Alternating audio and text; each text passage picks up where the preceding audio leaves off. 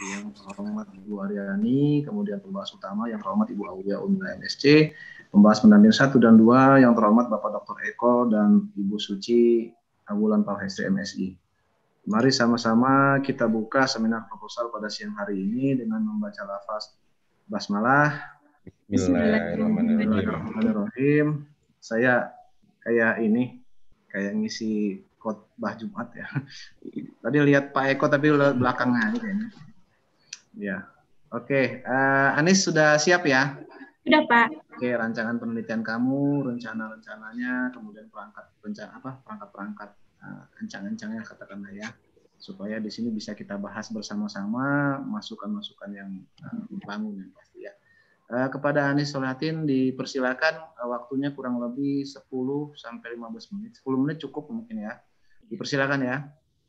Baik, terima kasih kepada Bapak Dr. Acirinaldi, MSC, selaku ketua seminar saya yang telah memberikan kesempatan saya untuk mempresentasikan PPT seminar saya dan terima kasih juga kepada petugas seminar proposal saya Bapak dan Ibu yang telah hadir di seminar proposal saya. Izin memperkenalkan diri, nama saya Andi Solehatin, NPM 1711060005.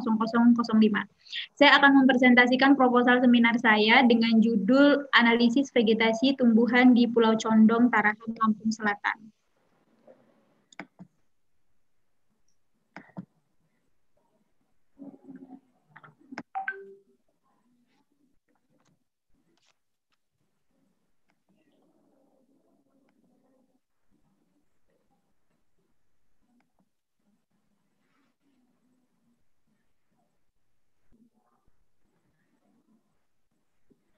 Uh, judul saya analisis vegetasi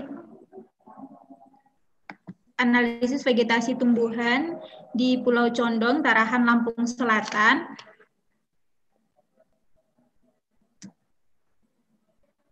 Bab 1 pendahuluan.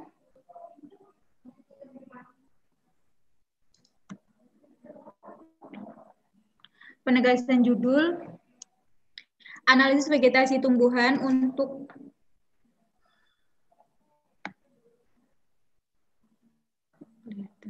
Analisis vegetasi adalah cara untuk mempelajari susunan atau komposisi vegetasi secara bentuk atau struktur vegetasi dan masyarakat tumbuh-tumbuhan. Formasi tumbuhan hutan pantai umumnya mengikuti substrat sehingga membentuk ekosistem hutan pantai, formasi pescaprae, baringtonia, dan hutan mangrove. Desa Tarahan, Kabupaten Lampung Selatan yang menjadi tempat penelitian kami di Pulau Condong Darat, bagian selatan Pantai Pasir Putih.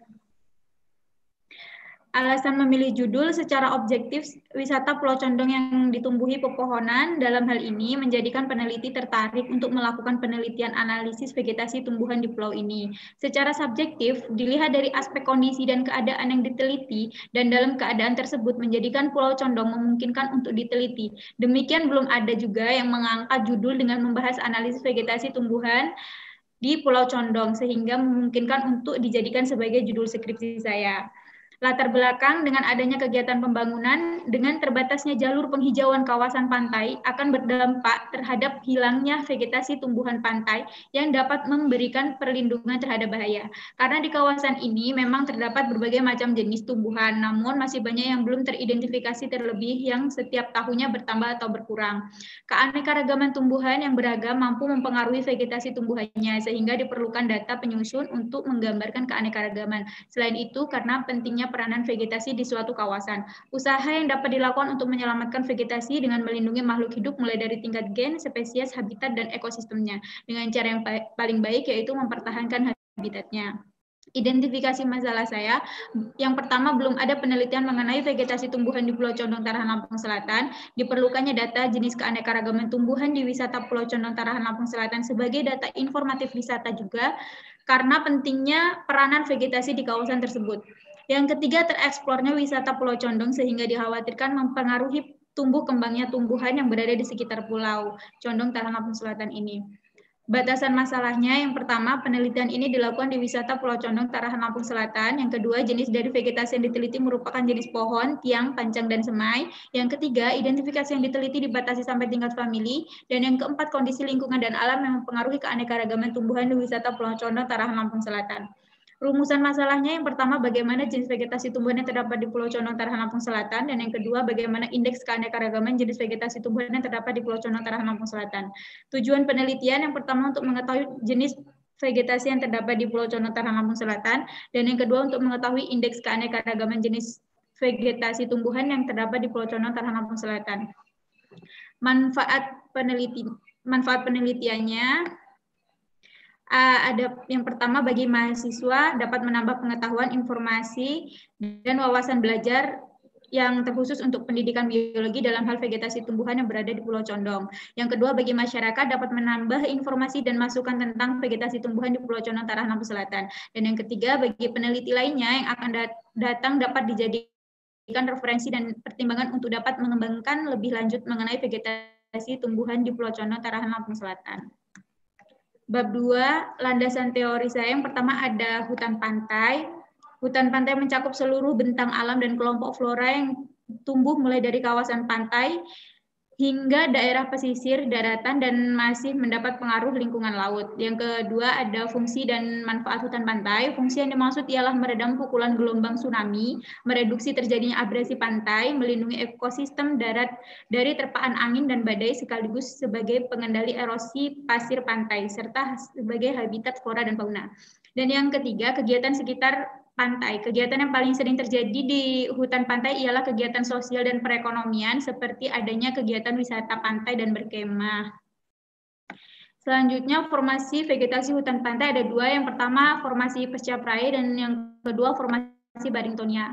Lalu spesies tumbuhan hutan pantai ada cemara laut, ketapang, butun, waru laut, kayu kuda, bayur pantai, tapak kuda, pandan pantai, dan mengkudu. Pulau Condong ini yang terakhir, yang selanjutnya Pulau Condong, kawasan tempat wisata dan liburan keluarga. Pulau Condong merupakan salah satu tepi laut di Lampung yang mempunyai berbagai macam spesies tumbuhan tepi laut, berperan baik sebagai naungan wisatawan. Wisata Pulau Condong memiliki keanekaragaman hayati yang dapat dimanfaatkan oleh manusia baik secara langsung maupun tidak langsung. Kajian penelitian yang terdahulu yang pertama ada judul skripsi struktur dan komposisi vegetasi tumbuhan bawah, semak, herba, dan rumput dengan variasi ketinggian pada naungan Tektona grandis LF di desa Selop Selopamioro, Imogiri, Bantul, Yogyakarta diteliti oleh Dahir dari jurusan Biologi Universitas Islam Negeri Sunan Kalijaga. Penelitian Poinnya saja, Anis, jangan dibaca semuanya. Poin-poinnya. Bab 3, uh, bab 3 metode penelitian, waktu dan tempat penelitian waktunya dimulai dari Januari 2021, tempatnya Pulau Condong, Tarahan, Lampung Selatan. Alat dan bahan, alatnya menggunakan meteran dan tali, kamera digital, GPS, karet gunting, pancang, alat tulis, kertas koran, spidol, plastik, label, kalkulator. Bahan, tumbuhan di Pulau Condong. Jenis penelitian jenis penelitiannya saya menggunakan jenis deskriptif kuantitatif. Langkah penelitian Tianya yang pertama disiapkan alat dan bahan, yang kedua dibuat jalur pengamatan yang diambil dari luas wilayah 22 hektar, lalu diambil seperempat sebagai sampel penelitian hingga didapat 5,5 hektar atau sama dengan 220 kali 250 meter persegi. Penentuan titik lokasi ini dilakukan dengan metode gadur peta yang dibagi menjadi tiga plot pengamatan yang diambil secara sengaja dengan jarak antar plot 80 meter. Plot pertama diambil dengan jarak 8 diambil dengan jarak 10 meter dari bibir pantai. Mencatat tiap fase pertumbuhan dari pohon tiang, pancang, dan semai, mendata dimensi pohon, mengambil gambar di segmen pengamatan, tabulasi data, dan analisis data menghitung kerapatan frekuensi, dominasi, NP, dan indeks keanekaragaman. Berikut adalah desain peta contoh yang ada di lapangan saya. Selanjutnya, populasi, sampel, dan teknik pengumpulan data. Populasinya tumbuhan yang berada di area pengamatan, sampelnya tumbuhan pohon, tiang, pancang, dan semai. Teknik pengumpulan datanya dengan menggunakan rumus persamaan Shannon-Wiener, kerapatan, eh, kerapatan relatif, frekuensi, frekuensi relatif, domina, dominasi, dan dominansi relatif.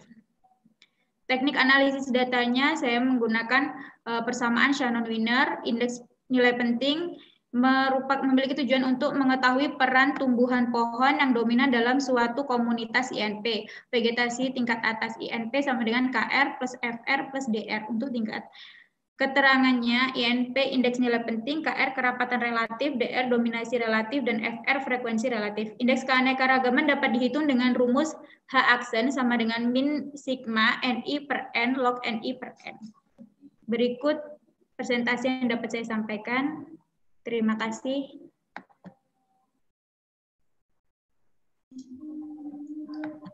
Ya, dikembalikan dulu ke ketua. Saya kembalikan kepada ketua sidang okay. seminar proposal. Oke, ditutup salam. Supaya... Waalaikumsalam warahmatullahi wabarakatuh. Waalaikumsalam. Assalamualaikum.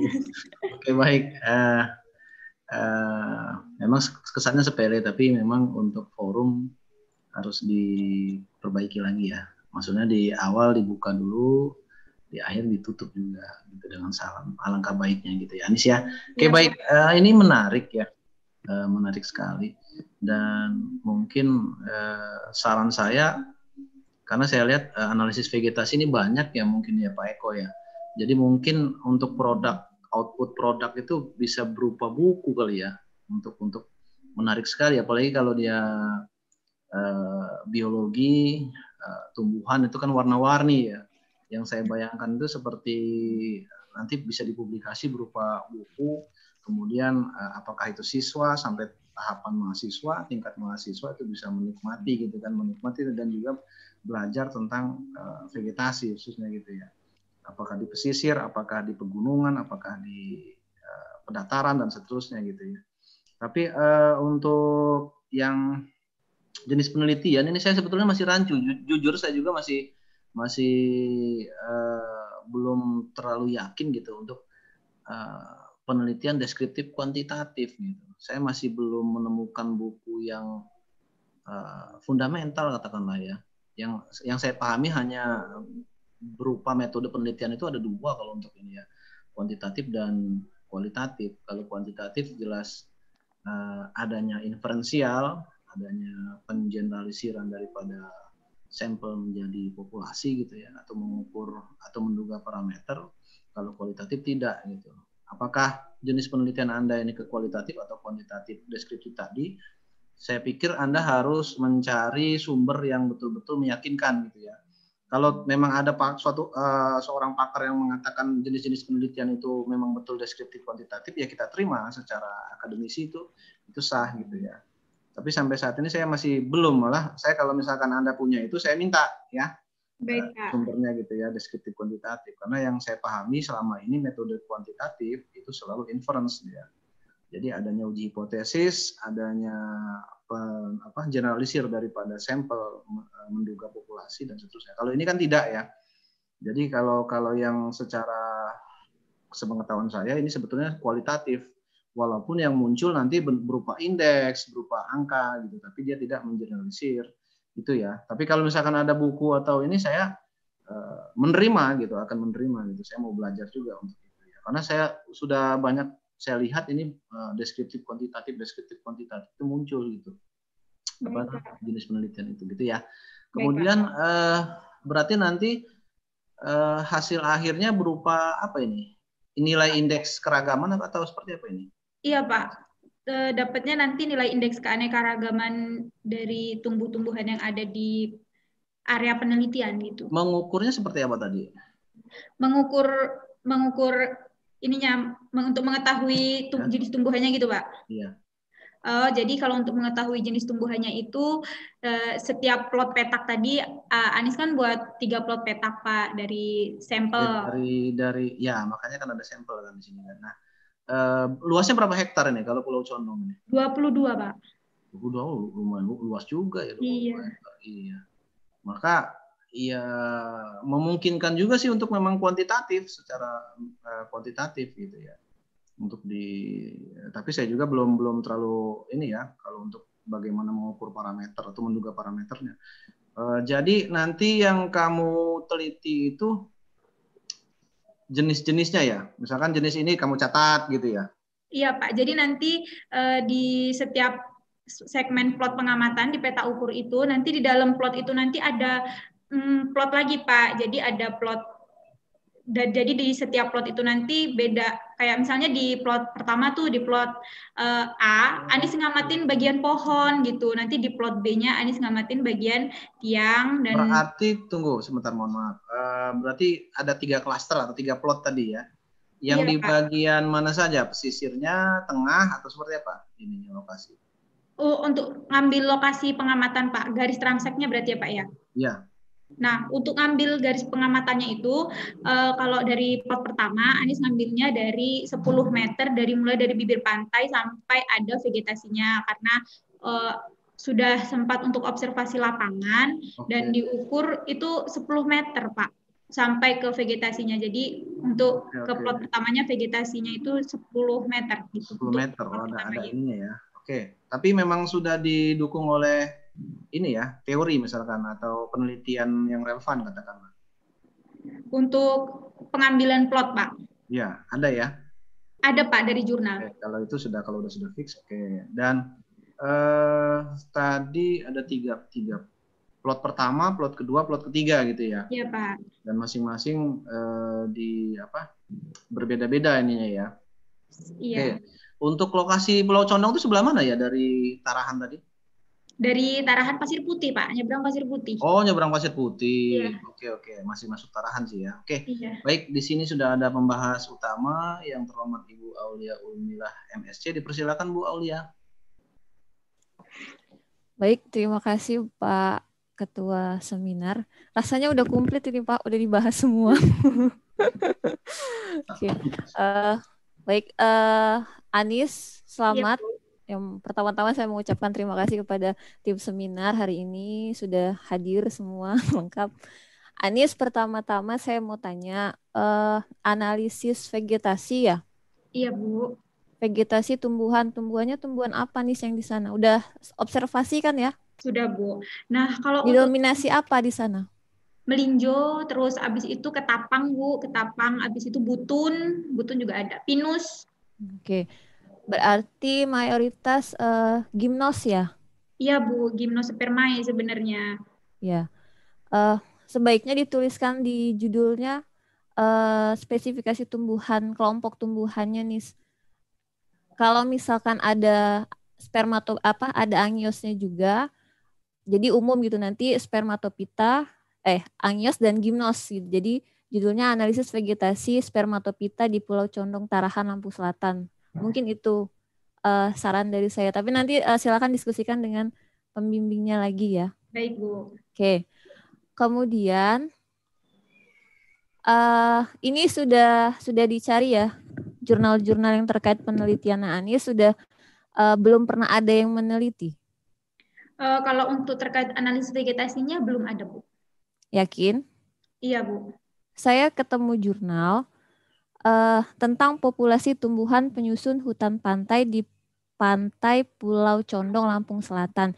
Itu sama seperti yang akan Anis lakukan, akan me melihat populasi tumbuhan yang mendominasi di sana apa, dan itu sudah diketahui yang didominasi adalah pohon beringin, melinjo, rambutan. Gitu. Jadi jenis-jenis pohonnya itu sudah sudah ada. Ini jurnalnya dipublikasi di Jurnal Hutan Tropis tahun 2019 bulan November. Gitu. Baik. Uh, di Pulau Condong juga. Uh, di Pulau Condong itu ada pulau-pulau lainnya gitu nggak? Pulau Condong aja Bu. Jadi dari nyebrang dari ini dari Pasir Putih itu langsung Pulau Condong darat itu. Gitu, gitu ya. Uh, ya nanti saran saya sih coba dilihat lagi nih jurnalnya tapi rasa-rasanya kalau saya baca dengan draft proposalnya Anis itu mirip gitu. Jadi kalau sudah ada yang meneliti, buat apa diteliti ulang gitu. Kalau misalkan hasilnya sama dengan yang, yang sudah diteliti itu. Baik, Bu. Gitu. Jadi nanti tolong dipertimbangkan lagi. Jurnalnya nanti akan saya kirimkan buat dibaca kembali. Mungkin nanti ada salah dari jurnal itu uh, mana yang kira-kira bisa jadi kebaruan dari penelitiannya Anis gitu. Baik, Bu. Itu ya. Jadi nanti statement yang menyatakan belum pernah dilakukan penelitian tentang vegetasi di hutan di Pulau Condong itu tolong diganti gitu ya. Baik Bu. Tuh. Kemudian untuk uh, masuk pertama di bagian penegasan judul di Yang poin ketiga itu tolong dispesifikan langsung aja di Pulau Condong itu dijelaskan aja Pulau Condong itu terletaknya di mana, kemudian uh, terkait dengan Pulau Condong saja gitu ya. Jangan di tiga lokasi daerah tujuan wisata yang tidak terkait dengan judul yang kamu tuliskan itu ditulis juga pengertiannya. Itu. Baik, Bu. Kemudian Nanti tolong diperbaiki tata tulisnya ya. Tata tulisnya itu ada yang masih tidak mengikuti EYD, jadi nanti tolong diperbaiki kembali dan nanti ini disesuaikan dengan uh, panduan yang terbaru ya, panduan yang terbaru.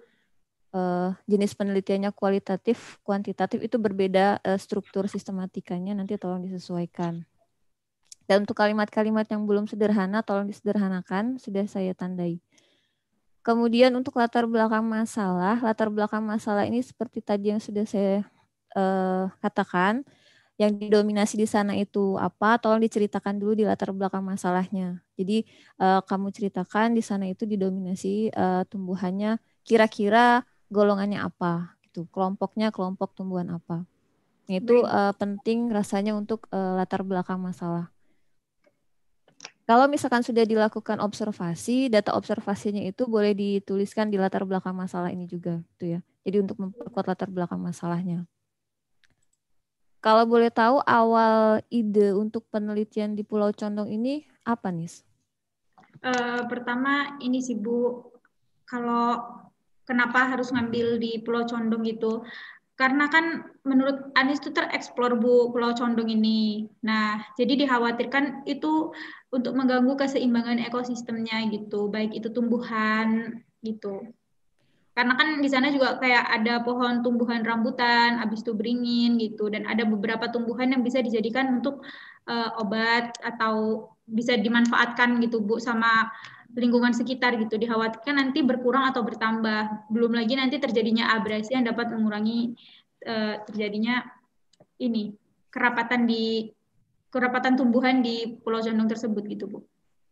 Oke, uh, untuk wisatawan yang ke Pulau Condong memang masuk-masuk sampai ke hutannya ya? Karena deket Bu sebenarnya apa oh, gitu. namanya? Gitu. Iya, jadinya kalau misalnya di Pulau Condong itu belum ada kayak tempat ini Bu tempat uh, gazebo ya Bu, gazebo belum ada gazebo gitu. Jadinya di sana masih kayak kalau misalnya ada wisat, wisatawan yang ke sana gitu, mereka untuk um, mau piknik mungkin ya Bu. Terus mereka kayak ngegelar-gelar karpet gitu juga di wilayah yang udah ada vegetasi tumbuhannya gitu Bu. Oke, jadi nanti tolong ditambahkan tadi statement yang Anis sebutkan ya. Uh, alasan kenapa kira-kira Pulau Condong ini uh, banyak di, di ter, banyak menarik perhatian dari wisatawan. Baik, itu Bu. tolong dituliskan kaitkan dengan uh, vegetasi yang ada di sana tadi itu. Baik, Bu. Lalu kemudian uh, latar belakangnya ini nanti ditambahkan uh, kebaruan dari penelitiannya Anis ini apa gitu dibandingkan dengan kebaruan penel, eh, dibandingkan dengan penelitian yang tadi sudah saya uh, sebutkan sudah ada yang meneliti di Pulau Condong ini, jadi nanti tolong dicari selah kebaruannya di mana gitu. Baik. Mungkin ada lah di selahnya sedikit gitu atau beberapa nanti pasti ada. Jadi nanti tolong dibaca lagi jurnalnya ya. Baik Bu. Kemudian hmm, lanjut ke identifikasi masalah. Ya, pernyataan yang tadi pertama belum ada penelitian mengenai vegetasi tumbuhan di Pulau Condong, tolong di ralat lagi diperbaiki. Kemudian untuk batasan masalah, oke batasan masalah.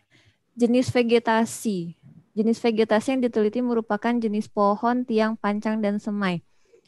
Anis vegetasi, jenis vegetasi itu apa aja nih? Apakah jen, pohon, tiang, pancang itu jenis vegetasi? Bukan, Bu. Nah. Kumpul. Kalau vegetasinya kan kumpulan dari beberapa jenis tumbuhan yang tumbuh di suatu tempat. Ya, Kalau, ya, contoh contoh jenis vegetasi apa nih? Contoh jenis vegetasi itu pohon termasuk ya Bu, tumbuhan ya Bu. Tuh kan saya nanya. Tumbuhan, pohon Bu, pohon termasuk pohon. Vegetasi pohon? Klasifikasi vegetasi apa? Pohon. Kalau kalau kategori uh, tingkat pertumbuhan tumbuhan apa?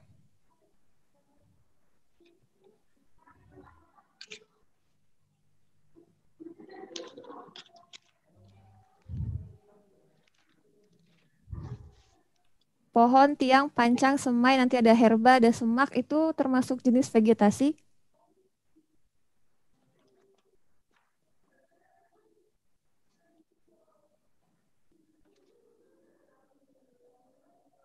Ayo Anis.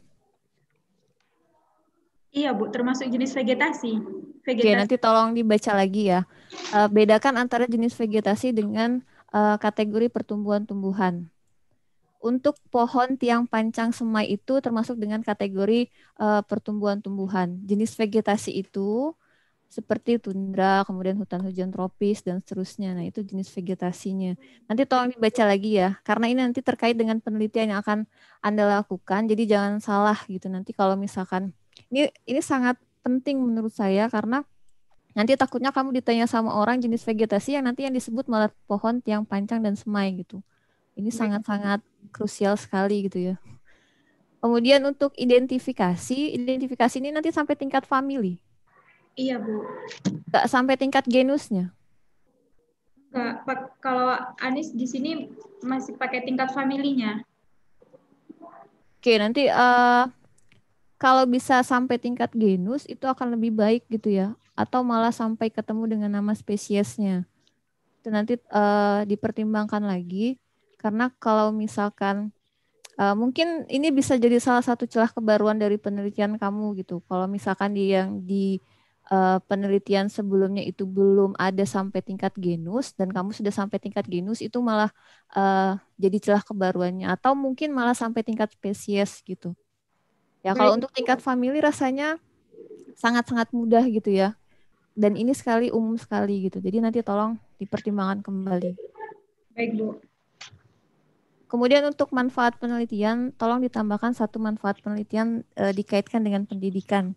Karena basic Anda di pendidikan biologi, jadi alangkah baiknya dikaitkan dengan e, pendidikan. Gitu. Nah, kemudian masuk ke landasan teori. Di landasan teorinya ada beberapa teori yang perlu ditambahkan. Yang pertama terkait dengan vegetasi. Nah, itu teori vegetasi ditambahkan biar tidak keliru antara kategori pertumbuhan dengan jenis vegetasinya kemudian analisis vegetasi dan uh, terakhir faktor-faktor yang mempengaruhi pertumbuhan. Contohnya nanti akan dihitung pH, kelembaban, suhu dan lain-lainnya kan? Baik, iya Bu. Iya, nanti tolong ditambahkan uh, teorinya dan tadi di batasan masalah pun tolong dituliskan uh, pengukuran faktor luarnya itu juga dituliskan apa yang akan diukur pH, suhu, kelembaban atau dan seterusnya. Kemudian beberapa kesalahan, typo-typo tolong dikurangi dan hmm, tolong diperhatikan dalam penyusunan kalimat ya. Uh, kata hubung itu tidak tidak dituliskan di awal kalimat. Itu jadi nanti tolong yang kata hubungnya di awal kalimat itu tolong diperbaiki ya. Gunakan pola SPOK. Kemudian masuk ke sebentar lanjut ke ya, kajian penelitian yang relevan.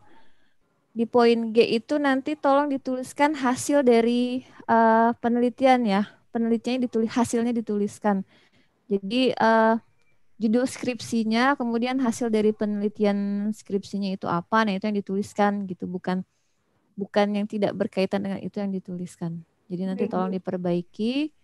Kemudian kerangka berpikirnya juga diberikan judul. Nah, untuk metode penelitian, ini gambar dari Pulau Condongnya tolong diperjelas ya. Ini di, uh, di, dimasukkan saja gambar pulau, tapi Pulau Condongnya ini nggak tahu di daerah mana. Bisa aja ini bukan di daerah Tarahan gitu kan. Jadi tolong diperjelas ini di wilayah mana. Baik, Bu. Gitu. Kemudian batas utara, selatan, uh, timur dan ya itu harus dituliskan dicantumkan di situ. Oke, lanjut. Ya, jenis penelitiannya. Ini tadi uh, ya setuju dengan Pak Haji, tolong dicari sumber yang relevan gitu ya, sumber yang meyakinkan terkait dengan deskripsi kuantitatif ini gitu. Jadi biar jadi dasar kamu juga untuk menjelaskan nanti ketika mungkin bukan kosa akan ditanya gitu. Jadi, jadi kamu punya dasar uh, yang yakin gitu. Baik, Bu. Nah, untuk prosedur penelitian, bentar.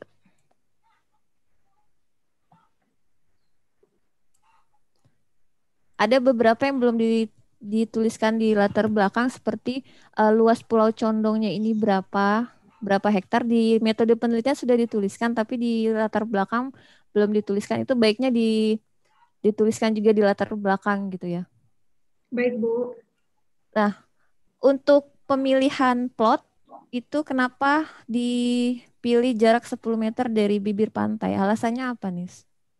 Kalau waktu dilihat dari ini Bu waktu ke sana observasi lapangan itu dari mulai bibir pantai sampai dengan yang udah ada beberapa tumbuhan yang ditanami itu 10 meter sekitar 10 meter Bu.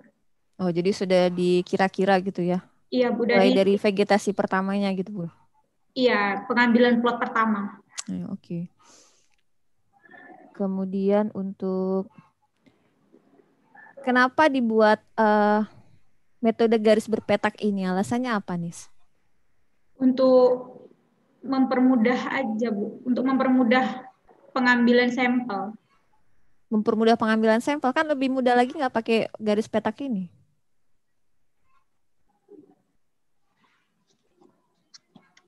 Iya, Bu.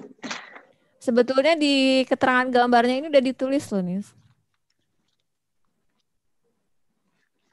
Coba dibaca nih keterangan gambarnya nih. Desain petak. Iya, desain petaknya itu di bawahnya.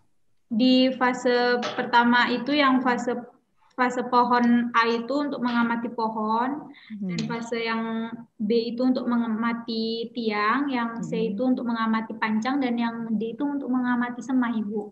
Nah, iya. Uh, ini proposalnya buat sendiri kan? Iya, Bu.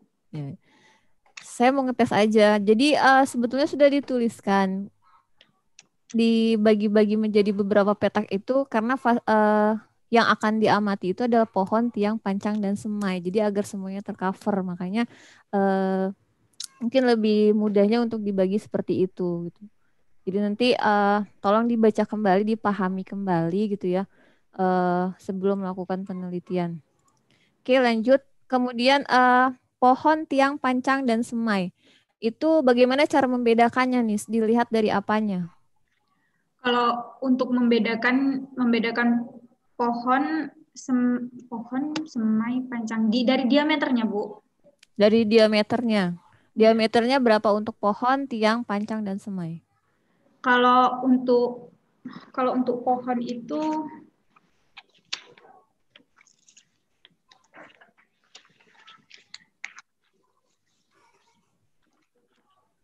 Kalau untuk pohon itu lebih dari 20 meter Bu diameternya. Kalau lebih senti. Ya, sentimeter. 20 meter lumayan. 20, 20 sentimeter Bu maksudnya. Kalau okay. Ya, terus habis itu kalau kalau tiang itu kan anakan dari pohon.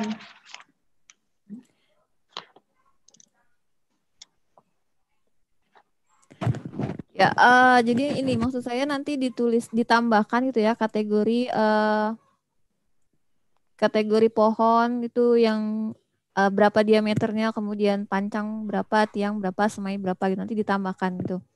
Dan sumbernya jangan lupa dicantumkan. Kemudian untuk pendataan dimensi pohon yang meliputi diameter dan luas bidang dasar. Nah, cara ngukur diameternya gimana nih? Menggunakan rumus keliling lingkaran, Bu. Oke, keliling lingkaran. Nanti yang diukur uh, berarti keliling lingkaran dari batangnya itu ya? Iya, diameternya. Keliling batangnya maksudnya. Sorry, iya, keliling ya, batangnya. Uh, diukur dari diameter diameter yang mana? Yang bagian pangkal batang, bagian tengah atau bagian pucuk? Kalau misalnya menurut yang udah jurnal Anis baca ya Bu ya, itu tuh kalau misalnya dia pohon, terus pohonnya berlereng itu diambil dari ujung ujung ini, ujung lerengnya gitu Bu. Jadi di ujung lereng sini yang diambil pertama 1,3 meter itu. Terus kalau misalnya dia pohonnya itu nyabang, terus diambil dari 1,3 meter ukuran semua cabangnya kalau ada cabang yang kayak gini gitu Bu. Terus kalau habis itu kalau ada ketinggiannya 1,3 meter, terus ada benjolan di bagian di bagian yang mau kita ambil 1,3 meter itu nanti diambil 0,5 meter setelah batang benjolan itu gitu. Terus nanti kalau ini pohon yang normal itu diukur 1,3 meter dari permukaan tanahnya. Oke, uh, jadi maksud saya itu nanti uh, penjelasan yang sudah dijelaskan tadi dicantumkan di metode penelitiannya ya Nis ya. Jadi biar jelas gitu. Jadi biar uh, sebagai dasar acuan kamu untuk penelitian di lapangannya nanti. Kemudian untuk luas bidang dasar gimana cara mencarinya? Untuk mencari luas, luas bidang, bidang dasar. dasar. Apakah ada rumusnya? Mencari luas bidang dasar menggunakan rumus ini ya Bu ya, keliling. Apa rumusnya?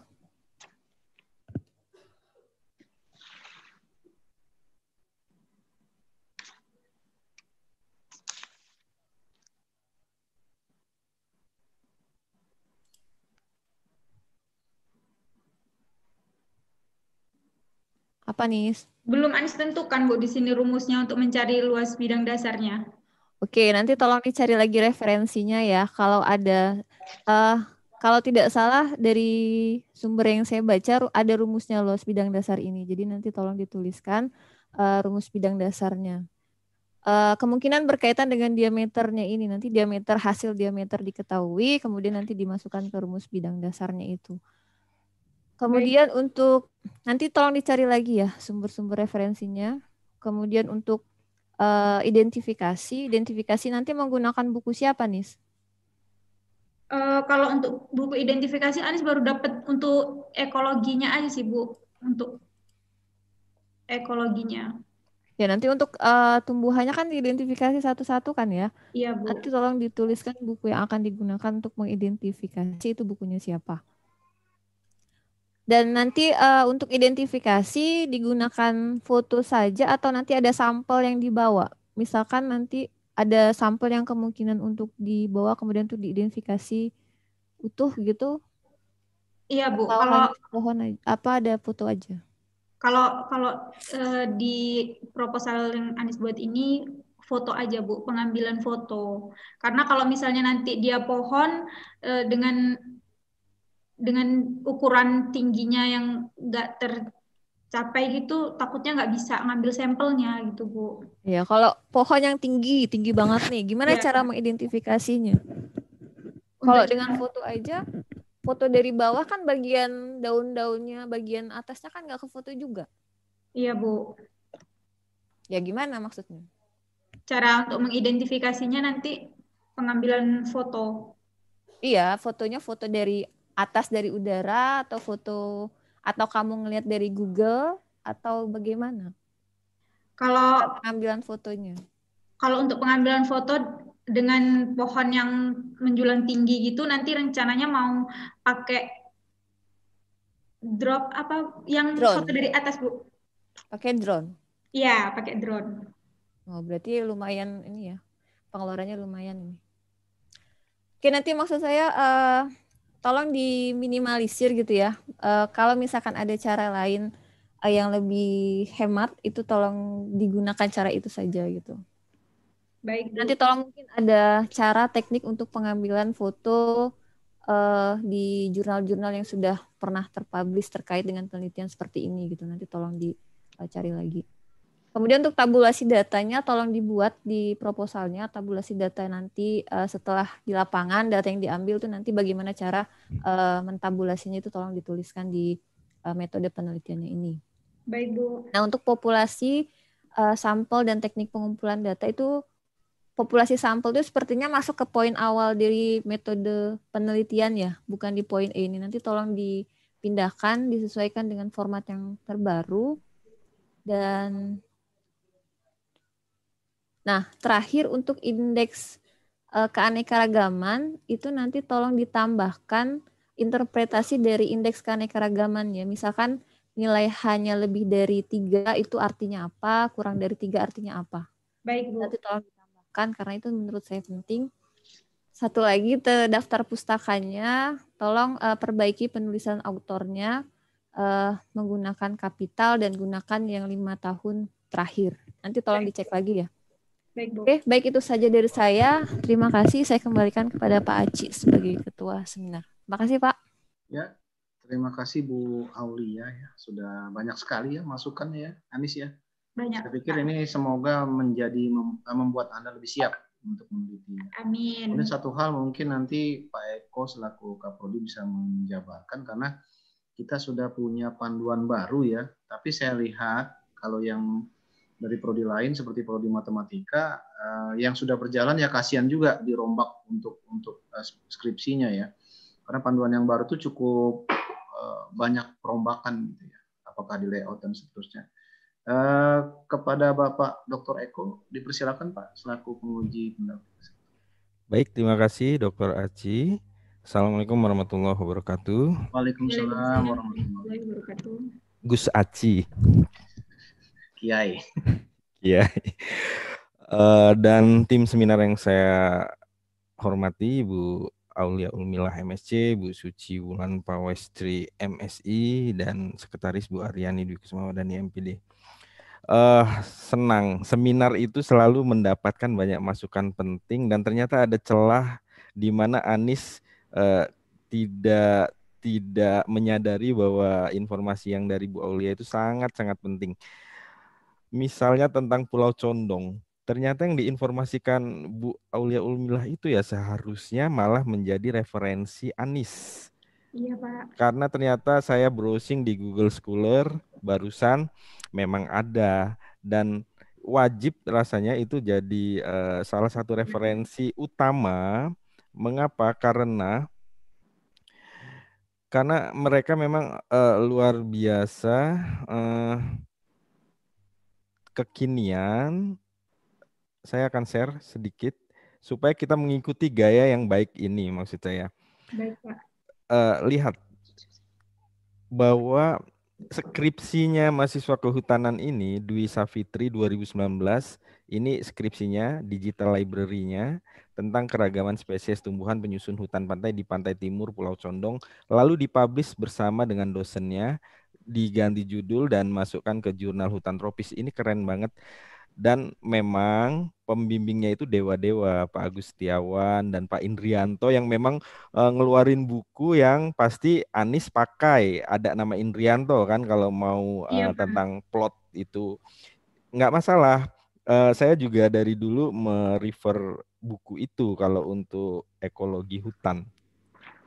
Nah tadi pertanyaan Bu Aul ini sudah ada gitu. Dan ternyata memang kalau tidak harus pindah pulau, ada celah. Ini adalah bagian timur. Sekarang Anies mau nggak mau harus bergeser ke barat, utara, atau selatannya. Ini yang Anies harus jeli sebelum riset itu mengumpulkan banyak data, sebelum proposal. Saya tunjukkan juga ini datanya. Ah, sorry. Kita lihat ya bagian timur dari Pulau Condong yang sudah diteliti oleh Dwi Safitri. Anda harus ke Unila ambil skripsi yang lebih lengkap karena skripsi yang ini pembahasannya ditutup. Uh, yang tanpa pembahasan pun sudah lumayan informatif. Saya saya buka ini. Nanti tolong diikuti. Ini penting sekali. Lalu kata Bu Aul, uh, kalau cuma sampai family mah nggak ada apa-apanya. Sampai genus aja lumayan kan. Jangan iya. mereka sudah sampai spesies. Karena nggak sulit mengamati yang namanya hibiscus tiliaceus sudah jelas. Piper desumantum sudah jelas. Ficus benjamina sudah jelas. Anda harus sampai level spesies. Makanya buku-buku seperti Flora, Indrianto, uh, ekologi hutan harus anda baca dan kuasai. Kita lihat sekarang di ini sebentar ini penting sekali untuk mengubah lokasi riset Anda tetap di Pulau Condong. Saya izinkan tetapi geser wilayah.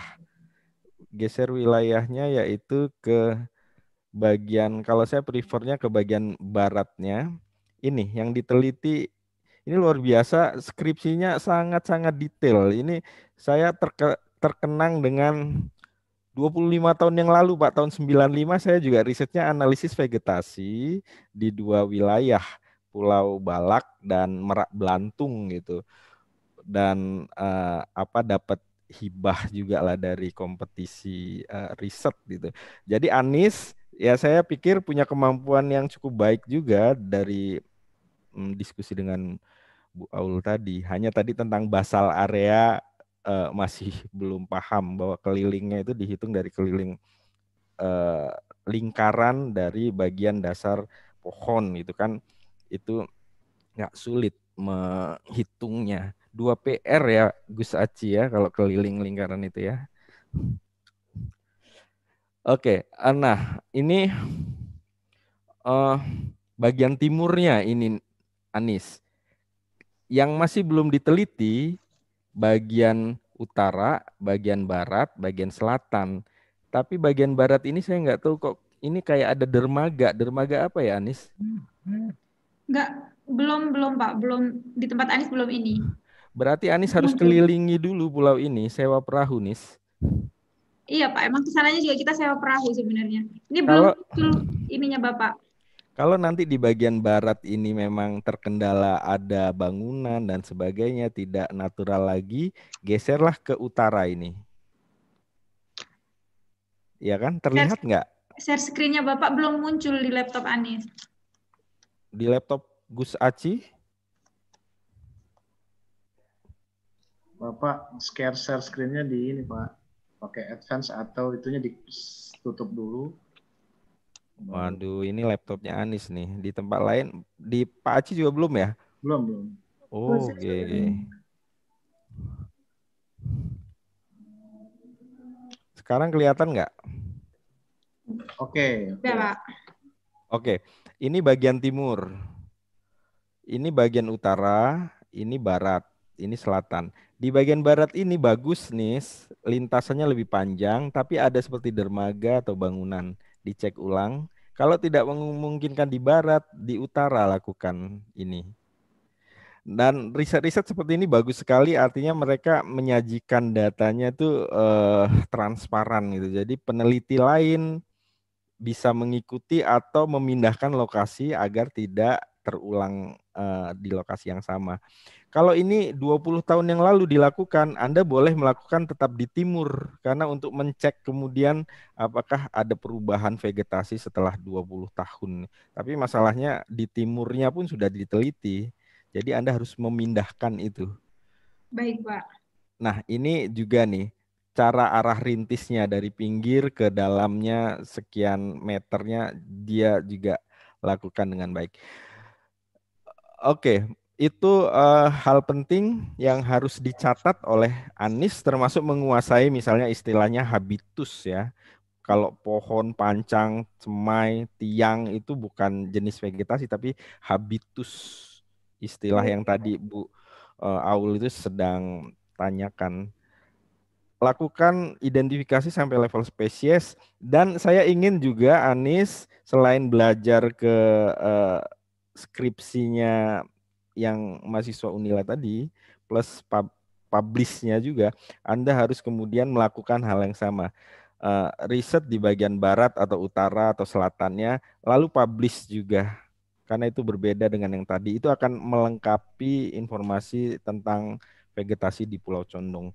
Dari saya cukup sekian, nanti mungkin Bu Suci akan menambahkan. Saya kembalikan ke Gus Aci Assalamualaikum warahmatullahi wabarakatuh. Waalaikumsalam. Terima kasih banyak Pak Kiai Eko. ya, kemudian langsung saja saya berikan kesempatan kepada Ibu Suci. Dipersilakan Bu Suci. Assalamualaikum Bu Suci. Oke, uh, Pak mungkin tambahan sedikit Pak sebelum ke Bu Suci. Oh, boleh. Uh, tadi kalau misalkan sudah ditentukan A barat, utara, selatannya, mungkin di judulnya bisa langsung dispesifikan di pantai barat atau pantai utara setuju, gitu. Jadi setuju, setuju. biar lebih spesifik dan membedakan dengan yang dari Unila tadi. Baik Bu. Terima kasih Bu. Oke, Terima kasih. Saja Pak. Terima kasih. Nah, terima kasih Bu Aul. Ibu, Ibu Suci, dipersilakan. Ibu Bian. Gitu manggilnya, Pak. Terima kasih, Pak Ci. Muncul. Pakai bahasa Indonesia aja, Ibu Suci ya. Iya, Pak. Terima kasih kesempatannya Pak Aci. Assalamualaikum warahmatullahi wabarakatuh. Waalaikumsalam Waalaikumsalam warahmatullahi wabarakatuh. Iya, selamat ya kepada Anis sudah sampai ke tahapan seminar proposal. Uh, Anis tadi banyak hal yang disampaikan oleh Bu Aulia, oleh Pak Eko ya. Berbagai hal itu silakan diperbaiki sesuai dengan saran dari Bu Aul uh, dan Pak Eko Kemudian kalau saya menambahkan bahwa identifikasi Anis sebaiknya sampai tingkat spesies nih karena tidak sulit kalau untuk vegetasi tumbuhan. Identifikasi sampai tingkat spesies kecuali kalau kamu identifikasi makrobentos atau hewan-hewan yang mikro ukurannya memang tingkat akurasinya akan lebih sulit makanya identifikasinya biasanya hanya sampai Ya, mohon maaf ya Bapak Ibu ada paut di sini soalnya.